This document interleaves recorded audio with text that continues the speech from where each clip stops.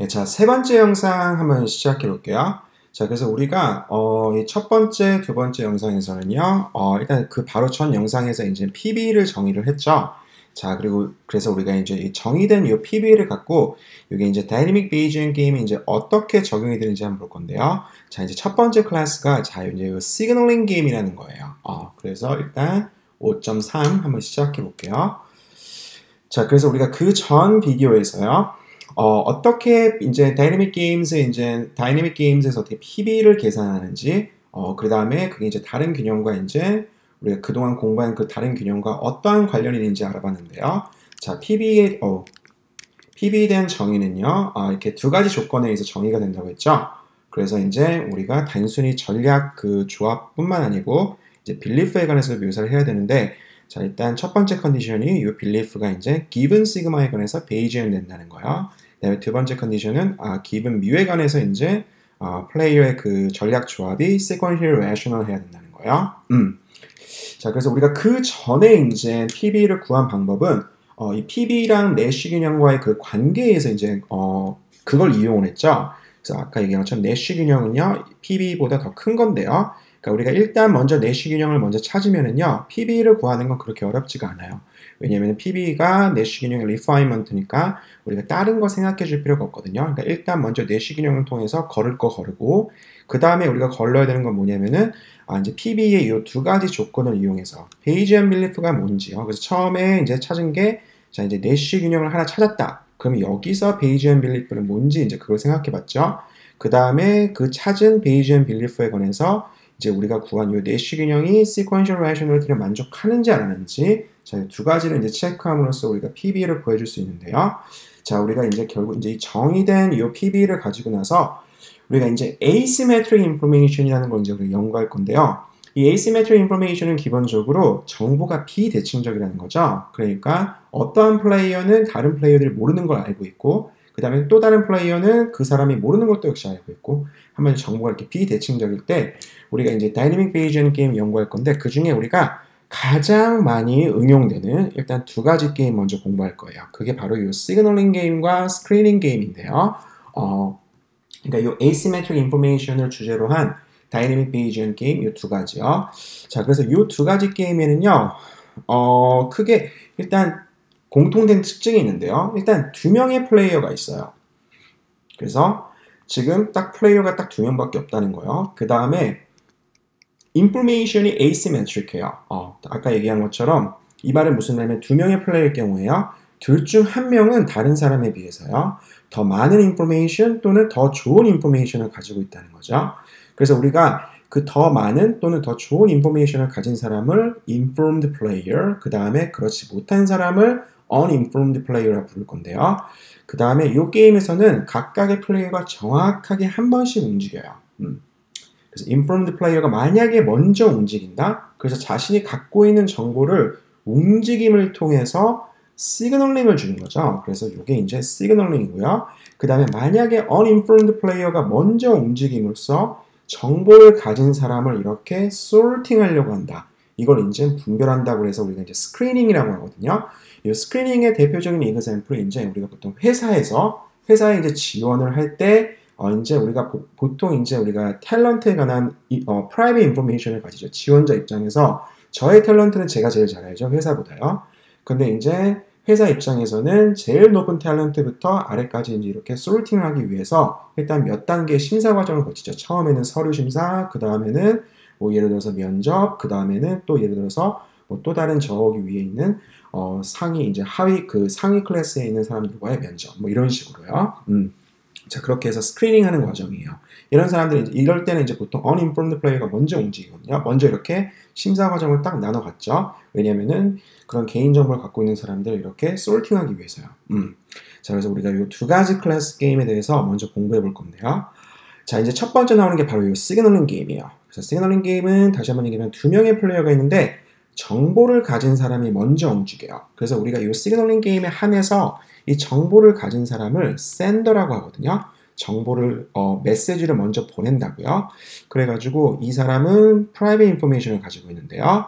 또는 private information, 그 다음에 어, 게임 이론에서는 보통 타입이라고도 해요. 이 private information을 타입이라고도 하거든요. 자, private information 또는 타입을 먼저 관찰한 다음에 그 다음에 액션을 먼저 choose해요. 우리가 이걸 보통 메시지를 하나 보낸다고 해가지고 이 사람을 샌더라 부른 거거든요. 그래서 관찰한 다음에 하나의 메시지를 하나 보내요. 어. 자, 그 이게 첫 번째 플레이어고요. 그래서 지금 여기 어, 여기 보면 알겠지만 네이처가 먼저 플레이어 1의 타입을 결정하죠. 타입을 먼저 이렇게 2분의 1, 2분의 1 확률로 결정한 다음에 이 네이처의 움직임을 플레이어 1이 먼저 본 다음에 먼저 액션을 하나 choose해요. y 또는 n을 먼저 choose하죠. 어. 그 다음에 두 번째 플레이어가요. 이제 이 사람은 uninformed 플레이어인데요. 정보가 없어요. 단지 근데 그 샌더가 보낸 메시지를 받은 다음에 그리고 나서 하나의 액션을 choose해요. 어, 그래서 이걸 보통 우리가 이제 response라고 얘기하는데요. 어, 이 receiver라는 사람은 그러니까 이 example 끝까지 맺으, 어, 맺으면은요. 이 두 번째 플레이어는 nature의 움직임을 보지 못하지만 그러니까 첫 번째 플레이어의 private information을 보지 못하고 또 다른 어떤 private information 없고 단지 플레이어 1이 받은 메시지를 보고 나서 y를 대답할 건지 n을 대답할 건지 자 이렇게 이제 결정을 한다는 거죠. 그래서 이게 이제 signaling 게임의 하나의 example이에요. 네이처가 먼저 움직이고 그 다음에 어, 정보를 받은 사람이 먼저 액션을 하나 choose하는 거죠. 그 다음에 두 번째 플레이어가 그 메시지를 받고요. 그리고 나서 하나의 response를 choose하는 거예요. 음. 자 이렇게 결국 한 명 이제 각각의 플레이어는 정확히 딱 한 번씩 움직이죠. 어, 근데 informed 플레이어가 먼저 움직인다는 게 signaling 게임이에요. 먼저 정보를 받고 나서 그 정보랑 관련된 메시지를 이제 하나 보낸다는 거죠. 그걸 이제 우리가 신호를 보낸다고 해서 어, signaling 게임이라고 해요. 자, 그래서 이 signaling 게임의 이제 기본적인 구성 요소에 대해서 간단하게만 얘기하자면요. 어, 지금 그래서 두 명의 플레이어가 있죠. 그래서 우리가 플레이어 1을 sender라고 하고 플레이어 2를 이제 receiver라고 할게요. 자, 그 다음에 우리가 signaling 게임을 묘사하기 위해서는 어, sender가 갖고 있는 private information이 뭔지 이제 그게 총 가질 수 있는 private information이 뭔지요. 이전 example에서는 지금 W 또는 B인데요. 이 타입을 모아놓은 거를 이 T라고 부를게요. 그래서 이거는 이제 Private Information Space 또는 줄여서 그냥 Type Space라고 부르거든요. 자, 그 다음에 이 파이는요. 자, 여기 이전에 나와 있는 것처럼 지금 W, B가 각각의 2분의 1 확률로 나왔죠. Nature가 W랑 B를 이렇게 2분의 1 확률로 이렇게 결정해요. 자, 이 Nature의 움직임을 이제 우리가 Common Prior라고 부르거든요. 사전의 distribution이라고 해가지고요. 음. 자, 그래서 요, 여기서 나오는 이 파이는 요 가질 수 있는 타입에 관해서 하나의 distribution을 이제 어, 정의해요. 아까 전에 예전 example에서 이렇게 2분의 1, 2분의 1처럼요. 어, 자, 그래서 이게 기본적이고 일단 그 다음에 어, 플레이어 1이 과연 어떠한 메시지를 보낼 수 있는지 자, 요 메시지 space를 모아놓은 게 M이고요. 그 다음에 플레이어 1의 전략이요. 그래서 이제 중요한 거는 플레이어 1은 기본적으로 타입별로 움직이죠. 어, 제가 W라는 그런 어, 타입을 받았을 때랑 B라는 어, 타입을 받았을 때랑 다르게 움직일 수 있죠. 그러니까 어, 전략은 여기서 타입 dependent 하는데요. 그래서 플레이어 1의 전략은 여기 위에 이렇게 superscript T라고 적어줬죠. 이거는 타입별로 전략을 다르게 사용할 수 있다는 거예요. 음. 그래서 이 시그마 1T는 타입 T를 가진 sender의 전략이요. 어. 자, 그 다음에 이제 receiver의 이제 전략, 플레이어 2의 이제 그 어, 어, 취할 수 있는 그 response를 모아놓은 거예요. 그 액션 space를 모아놓은 거 이제 이걸 R이라고 하고요. 그 다음에 이제 플레이어 2가 이제 이 R 중에 과연 어떤 걸 choose 할 건지 그거는 뭐에 dependent 하냐면요. 받은 메시지에 따라서 이제 어, 다르게 이제 액션을 취할 수가 있죠. 예를 들어서 M1을 받았을 때, 어, 그걸 받았을 때 어떻게 이 R 중에 뭘 이제 response 중에 어떤 걸 이제 할 건지요. 그 다음에 여기서 M2를 받았을 때는 뭐를 할 건지 이렇게 받은 메시지에 따라서 다르게 움직일 수 있죠. 그래서 receiver의 전략은 받은 메시지가 뭔지 요 M에 따라서 이렇게 결정이 돼요. 어. 그 다음에 이제 플레이 어, receiver의 어, belief에 관해서 또 묘사를 해줘야 되는데요. 우리 이전 example에서 봤다시피 플레이어 2는 N이라는 메시지를 받고 나서 여전히 플레이어 1이 W 타입인지 B 타입인지 모르죠. 그래서 자신이 여기에 있는지 또는 여기에 있는지 다르게 해석하자면은 플레이어 1의 타입이 W인지 아니면 B인지요. 거기에 대해서 원래는 네이처가 어, 이 움직임, 네이처의 움직임 2분의 1, 2분의 1 이런 prior belief를 가지고 있었는데 메시지를 받고 나서 업데이트를 할 수가 있죠. 어, 네, 만약에 만약에 어, 플레이어 1한테 n이라는 메시지를 받았을 경우에 그러면은 얘가 진짜 실제 W의 확률은 뭔지요? 새로운 메시지가 들어왔으니까 거기에 대해서 업데이트를 해야죠. 어, 그 업데이트된 belief가 이제 요 뮤예요. 그래서 받은 메시지가 M이라고 하면은요. 요 M일 때 플레이어 2의 타입은 무엇인지요? 거기에 관해서 receiver의 이제 타입에 관한 belief요. 플레이어 1의 sender에 관한 타입에 관한 belief를 우리가 이제 요 뮤라고 정의할게요. 다시 한번 얘기하지만 이거는 이제 받은 메시지가 뭔지에 따라서 이제 또 역시 달라질 수가 있죠. 음. 자, 그 다음에 플레이어 1의 payoff는요. 결국 자신이 어떤 메시지를 보내는지 그리고 어, 센, 어, receiver가 어떤 response를 취하는지 거기에 이제 depend 하거든요. 그리고 역시 자기의 타입에 역시 또 depend 할 수가 있어요. 어, 플레이어 2의 이제 payoff function은요. 플레이어 1이 보낸 메시지랑요. 그 다음에 자신이 취하는 그 response에 이제 영향을 받는 거죠. 역시 플레이어 1의 타입에 또 역시 영향을 받을 수가 있어요. 그래서 이제 U1은 어, sender의 payoff, 그 다음에 U2는 이제 어, receiver의 payoff야. 음. 자, 그래가지고 expected payoff는 이제 여기서 이 signaling 게임에서 어떻게 계산할 수 있냐면요. 일단 먼저 플레이어 1, 그러니까 샌더의 expected payoff는요. 만약 자신이 메시지 M을 보냈어요.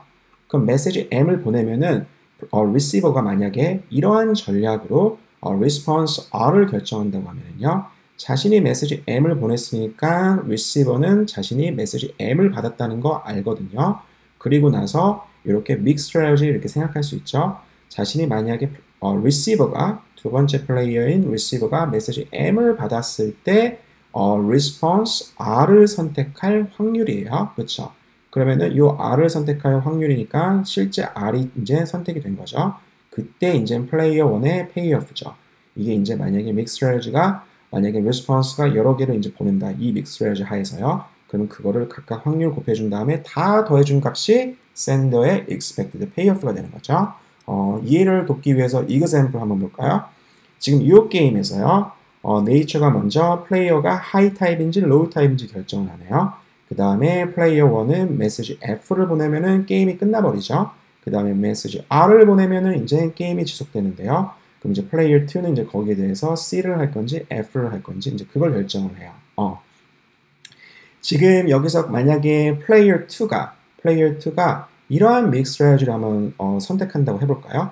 만약에 지금 여기서 메시지 F를 받았을 경우에는 게임이 끝나버리니까 플레이어 2의 어, response strategy를 우리가 생각할 필요가 없죠. 그래서 시그마 2 R이요.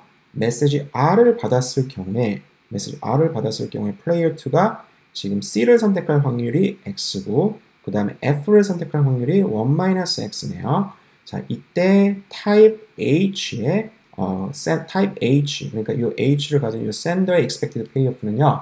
이 사람이 만약 메시지 R을 보냈을 경우에요. 그럴 경우에는 지금 자신이 메시지 R을 보냈으니까요. R을 보냈고 그 다음에 player 2가 이 경우에는 C를 X만큼의 어, X만큼의 확률로 선택을 하죠. 그럼 만약에 high 타입일 경우에요. 플레이어 1이 high 타입일 경우에 만약에 플레이어 2가 C라는 response를 했을 때 플레이어 1의 payoff는 2죠. 어. 그래서 이 U1 RC given H가요. given 타입에 관해서 given 타입 H에 관해서 플레이어 1이 R이란 메시지 보내고 플레이어 2가 C라는 response로 만약 대답하면요. 플레이어 1의 payoff는 2죠. 그래서 일단 2에다가 X 곱해주고요. 그 다음에 또 다른 경우가 있죠. 1-x의 확률로 이 player 2는 receiver는 어, response F를 이제 어, 이제 보내는 거죠. 그렇죠? 그럼 이때는 이제 F 이제 F가 선택되니까요. 지금 given type H에 관해서 RF가 됐을 때 player 1의 payoff는 이제 player 2가 F를 맞추자면은 player 1의 payoff는 1이 되네요. 그래서 여기다가 어, 1에다가 그에 관련된 확률 1-x 어, 이렇게 곱해준 다음에 이걸 이제 다 더해주면은 이제 expected payoff가 되는 거죠. 그래서 여기서 이제 1 플러스 x가 expected payoff가 돼요. 어.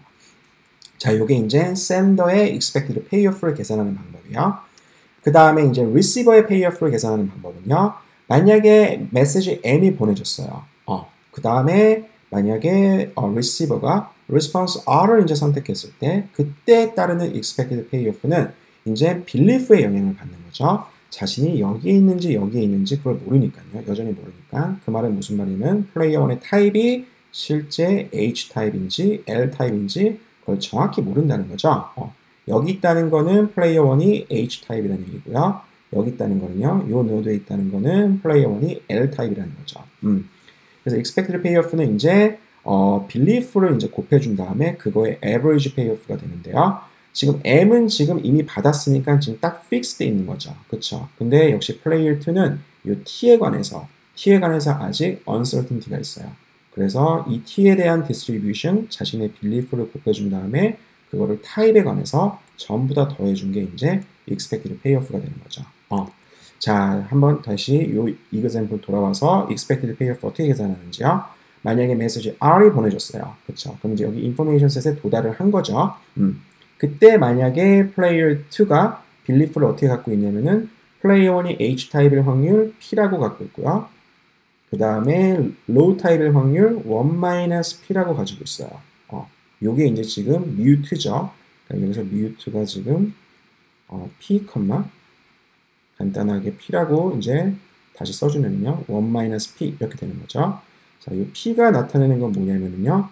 지금 메시지 지금 R을 받은 거죠. 메시지 R을 받았을 때 플레이어 1이 타입이 high 타입일 경우 그러니까 자신이 여기 있다는 거는요. 여기 있을 확률이라는 거는 네이처가 H를 선택했고 그러니까 플레이어 1이 H 타입이고요. 그 다음 메시지 R을 받았을 경우거든요. 그러니까 메시지 R을 받았을 경우 플레이어 1이 high 타입일 확률이 이제 P가 되는 거죠. 그 다음에 low 타입의 확률이 1-P가 되는 거고요. 음. 자, 그래서 이때 만약에 response C를 choose C를 choose 하면은 player 2의 payoff는 요 노드에 있을 경우에는 마이너스 2, 그 다음에 여기에 있을 경우에는 2네요. 그쵸? 근데 자신이 이 노드에 있을 확률을 P라고 믿으니까요. 지금 여기서는 이제, 어, 지금 여기서는 expected payoff가 마이너스 2에다가 P 곱해주고요. P 곱해주고 그 다음에 2에다가 1-P를 곱해준 한마디로 Q 4P 자 이렇게 계산이 되는 거죠. 어. 자 이게 이제 expected payoff 계산하는 방법이요. 플레이어 1의 expected payoff 플레이어 1은 자신의 타입 알고 있고 그 다음에 자기가 어떠한 메시지를 보냈는지 역시 알고 있으니까요. 유일한 uncertainty는 과연 플레이어 2가 어떻게 response 할지 이제 그거 이제 R에 대해서 이제 uncertainty가 있는 거죠. 어. 자, 그러니까 요거에 관해서 우리가 average payoff 계산해 주고요. 플레이어 2는 자신이 M이란 메시지 받은 거 알아요. 그렇죠? 그리고 자기가 R이라는 response choose할 것도 알아요. 그렇죠? 근데 여전히 이제 T에 관해서 uncertainty가 있으니까 이 T에 관한 distribution 자신의 belief를 곱해준 다음에 average payoff 계산해 주는 거예요. 음. 자, 그럼 이제 우리가 그 전에 PB를 이제 Bayesian Belief랑 Sequential Rationality 이 두 가지에서 이제 우리가 정의를 했는데요. signaling 게임에서는 우리가 PB를 이제 다시 어떻게 정의해 줄 수 있냐면요. 아까 그거에 이제 그대로 이제 어떤 special example이라고 생각하면 되는데요. 플레이어 1이 어떻게 움직일지, sender가 과연 어떠한 메시지를 보낼지요. 그 다음에 리시버가 과연 어떠한 response를 이제 선택할지요. 그쵸? 그 다음에 sender의 belief는 우리가 생각해 줄 필요 없죠. sender는 자신이 정보를 갖고 있는 사람이에요. 어. 그러니까 우리 각각의 인포메이션 셋이 딱 하나의 decision node로 딱 구성되어 있죠. 음. 우리 이, example 보면은 어, 플레이어 1, sender는요. 어, 각각의 인포메이션 셋이 딱 하나의 decision node로 딱 구성되어 있어요. 그러니까 belief를 묘사해 줄 필요가 없는 거죠. 대신에 이제 리시버의 어, belief를 묘사해 줘야죠. 음. 그래서 이렇게 세 가지 element로 구성이 되는데요. 자, 이게 언제 PB이냐면요. PB의 일단 belief가 Bayesian이 되죠. 지금 sender의 전략과 자신의 전략. 요 하에서 어, 지금 Bayesian이 돼요. 그 다음에 두 번째로는 sender의 전략, 그 다음에 리시버의 전략이 요 기본 belief에 관해서 리시버의 belief에 관해서 지금 sequential rational 해야 된다는 거예요. 자, 여기 이제 두 번째 컨디션이죠. 자, 요 두 번째 컨디션. 우리가 이제 Bayesian belief에 관해서는 우리 이제 예전에 그 정의 그대로 똑같거든요. 어, 그 각각의 노드에 도착할 확률을 분자에 넣어주고, 그 다음에 전체 인포메이션 셋에 도착할 확률을 분모에 넣어주고, 그래서 만약에 도달하면은 그렇게 Bayes rule에 관해서 계산해주고, 도달하지 않는 information set 같은 경우에는 unrestricted 해가지고 아무런 belief나 이제 가질 수 있는 거예요. 자, 요게 이제 Bayesian belief인데, 이 sequential rationality에 관해서 우리가 잠깐만 다시 얘기하면요. 두 번째 컨디션이 얘기하는 건 뭐냐면요. 결국엔 일단 첫 번째요. 어, sender의 입장에서 sender의 equilibrium strategy 시그마 1은요.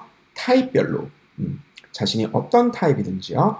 다 모든 information set에서 optimal strategy니까 플레이어 1은 지금 인포메이션 셋이 자신이 타입이 뭔지에 따라 이렇게 나뉘는 거죠. 타입에 나뉘는 그래서 모든 타입에 관해서 이 시그마 1은요. 만약에 자신의 타입이 T일 때요. 그때 선택하는 전략은 어, sender의 expected payoff를 가장 maximize 해줘야죠. 기분 상대방이 그러니까 receiver가 만약 시그마 2라는 전략을 선택했을 때요. 그렇죠. 그래서 플레이어 2가 이러한 전략을 선택했다. 그러면은 자신이 타입이 T일 때 선택하는 이 전략이요. 이 전략이 다른 어떤 거를 선택하는 것보다 어, 항상 더 높은 페이오프를 줘야 된다는 거죠. 자, 요게 이제 첫 번째고요.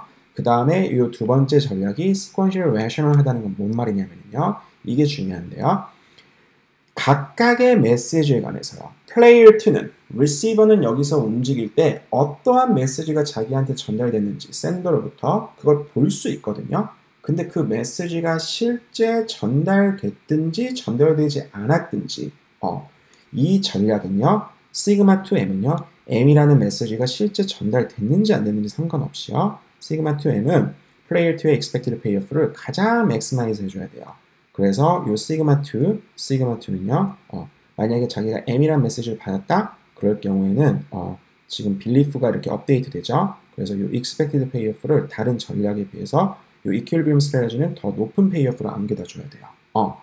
자, 이 두 번째 분리 포인트를 제가 다시 한번 설명해 드리면요. 첫 번째는요. 그러니까 한마디로 지금 플레이어 1 같은 경우는 타입별로 타입별로 선택하는 그 전략이 optimal strategy가 된다는 거죠. 음. 그 다음에 두 번째요. 리시버가 조금 애매한데요. 리시버는 자기가 메시지를 어떤 메시지를 받든지 간에 실제 그 메시지가 도달했든 안 도달했든지 간에 거기에 관해서 optimal strategy를 선택해야 된다는 게 sequential rationality예요. 어, 자 여기에 관해서 잠깐 얘기해 보면요. 자, 그래서 지금 만약에 이 게임 같은 경우요. 플레이어 1이 타입과 상관없이 무조건 메시지 F를 보내요. 어, 지금 이렇게 F를 선택한다는 거죠. 그렇죠? 그럼 이럴 경우에 플레이어 2의 인포메이션 셋은 도달하지 않거든요. 그러니까 한마디로 플레이어 2는 절대 메시지 R을 볼 그게 없죠. 어, 그런 어퍼튜니티가 없는 거죠. 그렇죠? 그럼에도 불구하고요. 그럼에도 불구하고 여기서 PB가 요구하는 거는요. PB의 두 번째 조건, sequential rationality가 요구하는 거는 아, 이 information set, 도달하지 않은 information set에서도 optimal strategy를 요구하고 있으니까요. 자, 이 information set X, Y에서 optimal behavior를 우리가 생각해 봐야 된다는 거죠. 자, 다시 한번. 이게 왜 우리가 이걸 생각해 봐야 되냐면요. 여기서 이렇게 도달하지 않았음에도 불구하고 플레이어 2가 과연 여기서 어떻게 움직일지 그게 플레이어 1이 자신이 메시지 R을 보낼지 F를 보낼지 그거에 영향을 받는 거거든요. 그러니까 우리가 왜 플레이어 1이 타입과 상관없이 메시지 F를 보내는지 이거에 관해서 생각하려면은 플레이어 2가 여기서 어떻게 움직이는지가 중요하다는 거죠. 이렇게 도달하지 않은 information set에서도 우리가 어, behavior를 우리가 생각해 줘야 돼요. 어. 자, 그래서 지금 이런 이, 이, 이 경우 같은 경우에는요. one이 F를 이렇게 무조건 보내면은 그럼 여기서는 이제 도달하지 않은 information set이죠. 그러니까 Bayes rule이 적용되지가 않아요. 다시 얘기하면은 플레이어 2는 아무런 빌리프나 가질 수가 있어요. 그래서 만약에 여기 여기서 확률을 P라고 하고요.